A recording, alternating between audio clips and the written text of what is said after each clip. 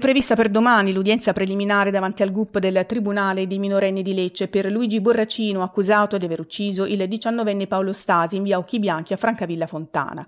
Stasi venne freddato con due colpi di pistola il pomeriggio del 9 novembre 2022. Il movente sarebbe riconducibile ad un debito pari a 5.000 euro che la vittima avrebbe maturato per il consumo di dosi di droga assieme alla madre, già rinviata a giudizio con l'accusa di detenzione di sostanza stupefacente. La procura contesta le aggravanti della premeditazione e dei futili motivi e il difensore dell'imputato, l'avvocato Luigi Campanino, ha chiesto l'ammissione al rito abbreviato, condizionato alla perizia psichiatrica, ritenuto un passaggio necessario per accertare la maturità di discernimento del giovane. Borracino, ristretto in carcere dal 22 maggio dello scorso anno, ha ammesso di aver sparato e ha precisato di non averlo fatto per uccidere. Per la difesa si sarebbe trattato di un fatto gravissimo dettato dall'impeto.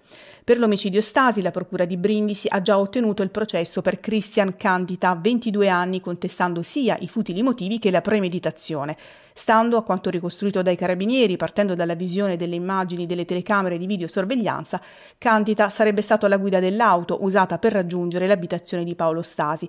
Borracino si sarebbe steso sui sedili posteriori e prima di arrivare davanti all'abitazione della diciannovenne lo avrebbe chiamato al telefono dicendogli di scendere. Stasi era in pantofole davanti al portone, dopo averlo visto, avrebbe fatto fuoco due volte, fatale il proiettile che ha attraversato la schiena del ragazzo.